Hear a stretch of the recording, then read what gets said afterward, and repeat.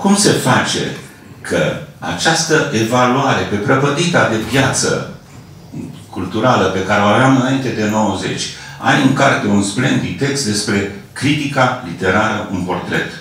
Și în care povestești cum exista o piață literară în România, începând de la Maiorescu, trecând prin Lovinescu și oprindu-se la Manolescu. Uh, după 90 a dispărut și asta. Da. Uh, ce s-a întâmplat? S-a produs o mutație în capacitatea noastră de a admira. Uh, ce s-a întâmplat de am ajuns atât de rău? Cum am ajuns atât de rău încât îl cheamă Paul Cernat, se duce la o lansare a unui volum al lui Iliescu, critic literar el, bun, tânăr, poate și face lansare la cartea lui Iliescu și spune că Iliescu e un om cu o mare. Așa arată, așa arată. Bun, asta e o limbă cu mare. Nu. este, dar e mai mult decât atât. Este pierderea totală a respectului pentru repere. Da, critica literară nu De ce am ajuns aici? De ce, de ce atâta încrâncenare? De ce această împărțire pe găști? De ce această... Găștile există când nu există o piață uh, a, a ideilor da, uh, literară. Uh, în, în cultura română, cultura română are, are o coloană dorsală, care este critica literară sau critica de direcție. E, din acest motiv te poți orienta în cultura română uh, văzând, uh, citind uh, câțiva autori care sunt toți critici literari este, care sunt și critici de direcție. Este vorba de Maiorescu, e vorba de Elovinescu, de Gecălinescu uh, și, uh, în cele din urmă, Nicolae Manolescu. Asta nu înseamnă că nu există foarte mulți critici, pentru că unde există acest tip de dorsală, criticii sunt mulți și sunt de foarte bună calitate.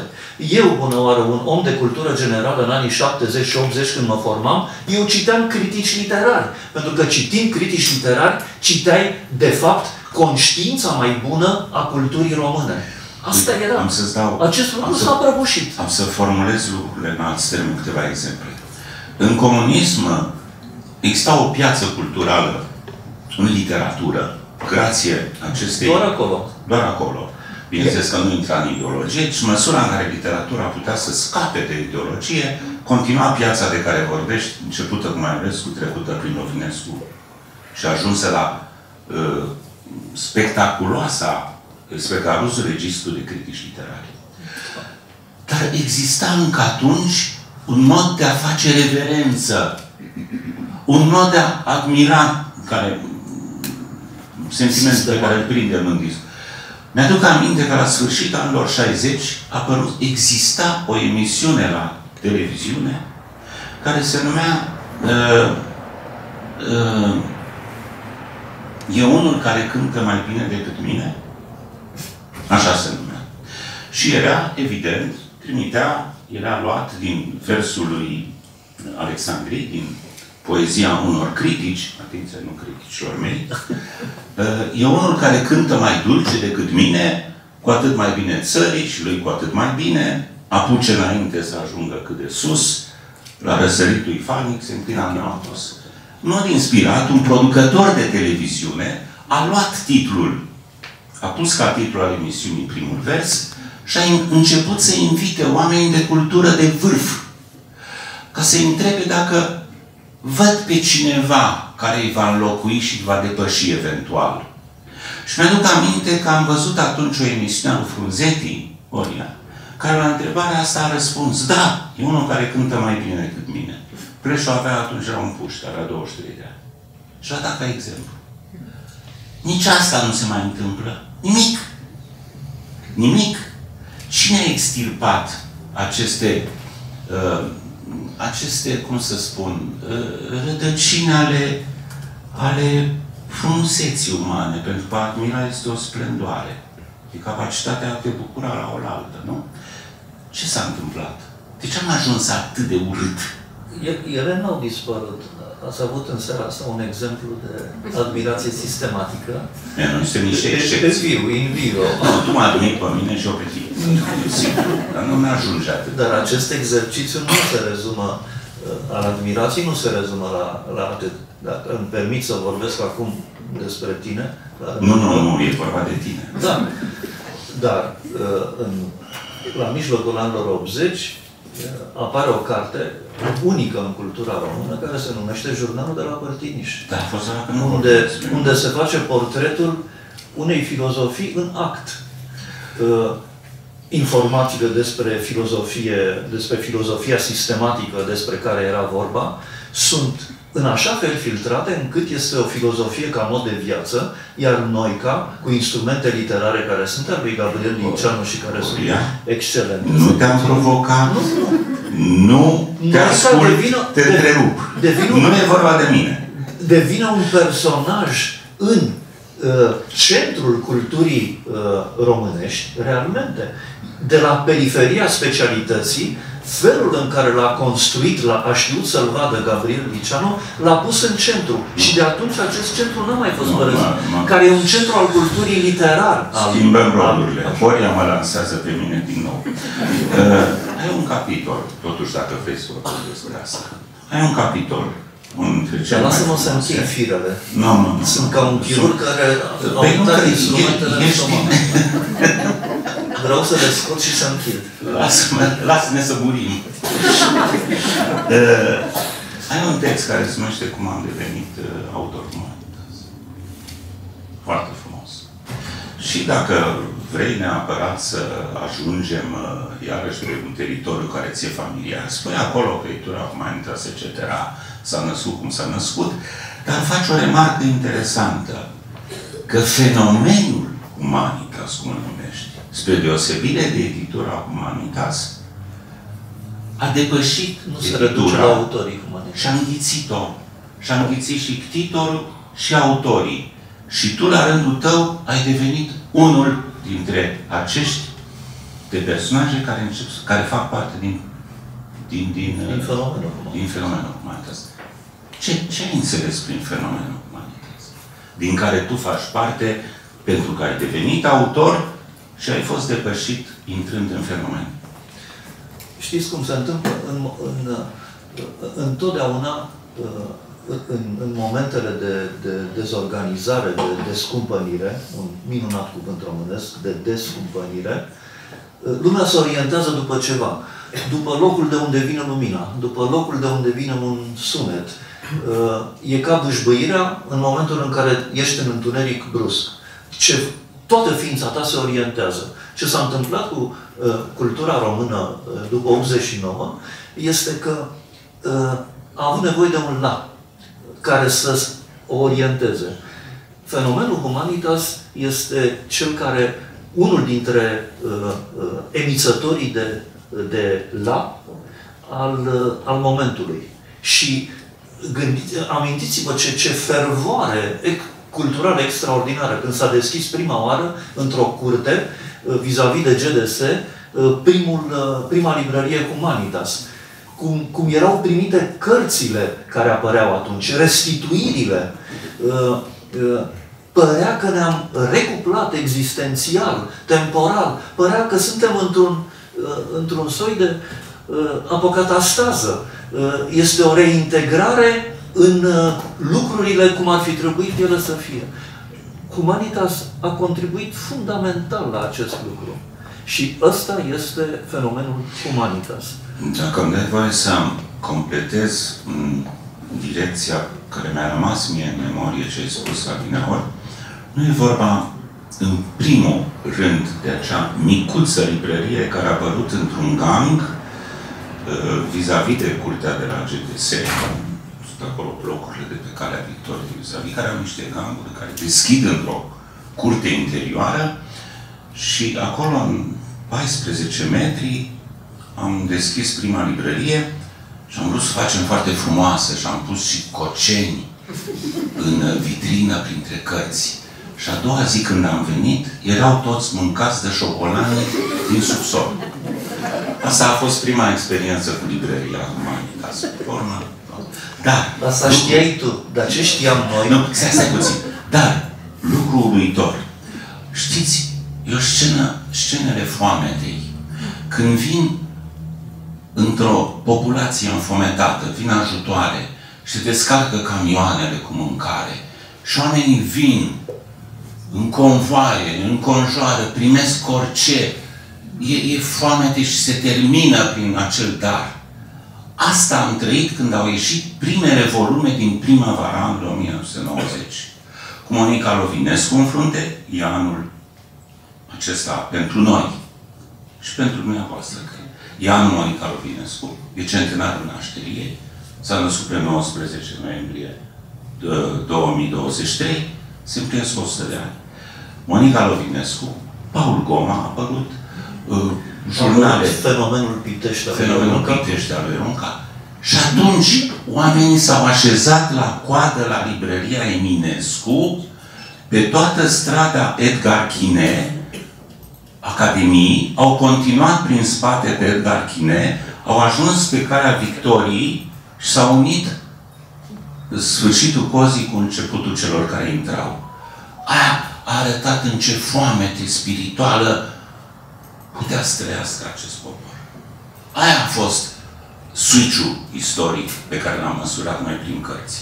Azi nu mai e așa, din păcate, sau din, nu, din fericire nu mai e așa. Lumea nu mai e atât înfometată pentru că a primit între timp hrană spirituală, în la trei decenii. Pentru că nu mai are nevoie de ea. și parțial, parțial, da. Bun, să nu intrăm în cifre, în statistici, că sunt înspăimântătoare. Ca peste la toți parametrii, pe ultimul loc în Europa. Uh, ne întoarcem, deci. Uh, ce însemna că ți-ai dat seama că faci parte dintr-un fenomen umanitas?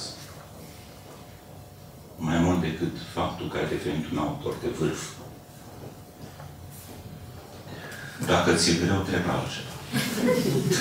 Nu, nu mi-e greu, dar trebuie să evoc Humanitas din anii 90, nu, nu. care era o, da. o, o întreprindere de pionierat. Cum uh, uh, țin minte o ședință în care eram acolo și uh, era ideea uh, să mergem și să vorbim despre cultură oamenilor, să avem contact cu oamenii. E, e, e, nu, nu era o simplă uh, idee de cum să faci rentabilă o, uh, uh, o editură. Uh, deloc, asta era complet în subsidiar. Era un act de uh, misionarism cultural, era o exaltare care privea destinul comunitar. Uh, și în asta m-am simțit parte tot anii 90. Pentru mine, fenomenul Humanitas se leagă de această reconstrucție, dacă mi iertați cuvântul pompos, deși în esența lui nu e pompos, dar în întrebuințarea lui este, a fost o reconstrucție națională, uh, culturală, uh, de, de, de mare profunzime. În ea, a fi autor Humanitas însemna a fi parte din această regăsire de sine, care nu era a unui autor, ci era a unei comunități culturale firește imaginate. Putem spune retrospectiv că noi imaginam Bovaric. Uh, putem folosi toate ironiile și ele sunt justificate până la un punct și de la un punct nu mai sunt justificate. Asta e privirea binoculară aia care se taie. Ok. Uh, uite ce îți propun să ne apropiem totuși, să intrăm în cartea ta. Ea este o carte de eseuri uh, pe care la rugămintea mea apăsată am reușit să le smulg de la tine, să mi le dai. Ele sunt o formă de penaj cultural. Uh, pentru că au toate registrele, toate ipostazele tale. Ești în cartea asta, tot aici, am cum am devenit uh, autor, spui, știu că m-a, m-a admira ca analist, vorbeai despre mine și că aveai îndoieli, că nu știai dacă că îmi plăcea ce spui, dar nu erai sigur dacă îmi plăcea și cum spuneai. Ori aici, fiecare va putea să-ți vadă penajul. Pentru că noi când scriem monografii, aruncăm o lumină pe o anumită fațetă a minții noastre. Ori aici ai ascultat pur în voa impresarul cultural, editorul, și a împărțit pe secțiuni uh, în care se află în fiecare secțiune câte o bijuterie. Și am să spun care sunt. Și am să dau și câteva exemple uh, apropo de cum spui și de îndoiala ta că n-aș fi sesizat uh, înălțimea ta stilistică în scris. În primul rând, sunt uh, ai secțiunea care, pe care o numești. Deci, uh, cartea ta are patru secțiuni. Trei. Viața, țara, Europa. Am să te întreb și te rog să te gândești până închei ce spun acum, de ce se numește cartea Viața, Destinul și Nostalgia? Viața, înțeleg, e vorba de viața ta, de viața noastră, de viața oamenilor pe care îi întâlni și de destinele lor. Dar de ce nostalgia? După ce ai tu nostalgii, când uh, ai scris uh, acest eseu, pe care l-ai avut și l-ai făcut și titlul cărții, uh, aici sunt câteva piese deosebite. Și piesa cea mai tare din punctul meu de vedere este piesa posturii tale de analist. În clipa de față, sincer, iarăși suna eu vorbesc despre tine, te laud și lumea ascultă. Dar uh, acum nu se pot ascunde lucrurile pe care le crezi. Nu, nu e vorba de fapt că te laud. Nu. Pur și simplu observ că o minte autohtonă a putut să facă analize care fac să avanseze gândirea sau să ajungă la un tip de distinții pe care până atunci mintea noastră nu le realiza. În speță, ceea ce faci tu în Revoluția de Centru, pe care îl consider un text analogic și pe care îți mă ierți că l-am comparat Benjamin, textul lui Benjamin Constant despre libertatea la grecii antici, la grecii antici, la moderni, Până atunci se amestecau, spunea democrația ateniană, democrația modernă e același lucru, nu democrația. Și acum apare cât un semitoc sinistru politic la televizor și ne spune, e, noi ca grecii, prostii. Bun. Ă, deci Horia face aici o distinție între revoluția, revoluțiile tradiționale, de tipul francez, bolșevic, și care au mai fost toate marcate prin violență și crimă, adică slujirea unui ideal de umanitate prin opusul lui, și revoluțiile din 89, care au schimbat destinul, au dus la prăbușirea comunismului. Nu numai asta, dar în partea întâi a acestui text explică pentru prima oară ce s-a întâmplat cu noi începând din decembrie 89, sau ce s-a întâmplat atunci și în ce fel am intrat pe în istoria pe care o trăim și azi. E primul text care face asta, deși pe tema Revoluției Române s-a scris, în acest timp s-au scris mii și mii de pagini. Dacă citiți acest text, care este un cristal pur, vă uitați în el ca într-un cristal și înțelegeți ce s-a întâmplat cu noi de 33 de ani încoace. E, asta e miraculos. Nu e de aici de acolo. Să ai o minte care poate să facă operațiuni de laser de acest tip. Laparoscopic l-ai făcut, nu? Laparoscopic. uh, nu e de aici de acolo. N-am deschis pe nimeni. Nu ai deschis pe nimeni. da. Deci asta este o direcție a cărții. Alta este uh, punerea în, în forma vieții proprii. Primele tale călătorii în Occident, în Franța, când e cunoscut pe Monica Lofnescu și Virgil Runca, și în Germania, nu se rezumă la punerea în scenă a unor călătorii și vai ce frumos ce am văzut acolo. Nu. Imediat se trece la o, la o escavare a rădăcinilor culturale ale acestor două spații. Cum arată cultura franceză spre de cea germană?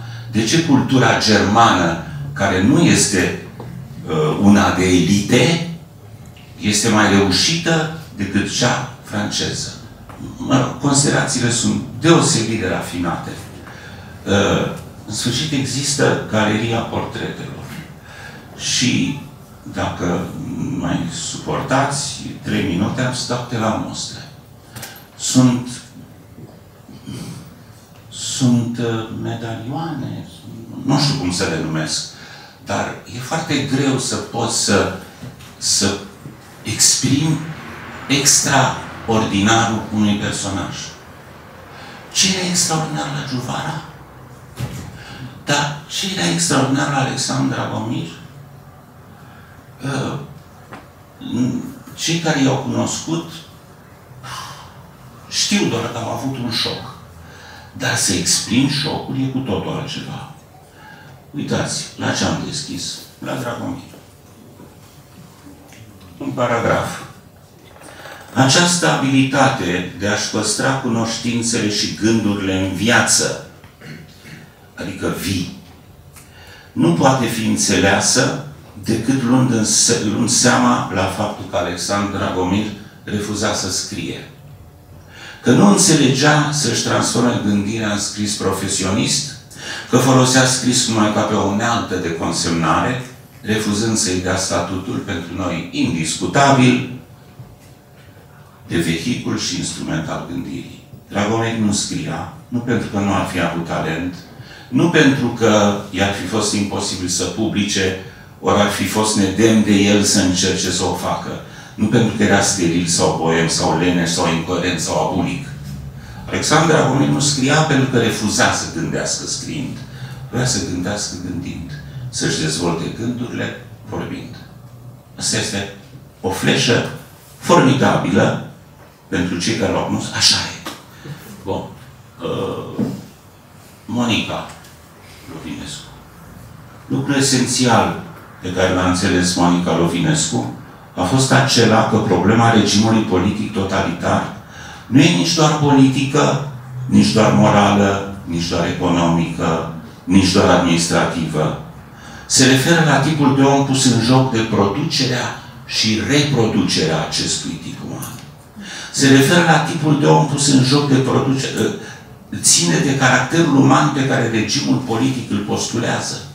Și pentru că tipul de caracter pe care comunismul producea și reproducea indefinit era odios, lupta ei a fost nu atât o luptă pentru literatura frumoasă, cât pentru o societate de caractere.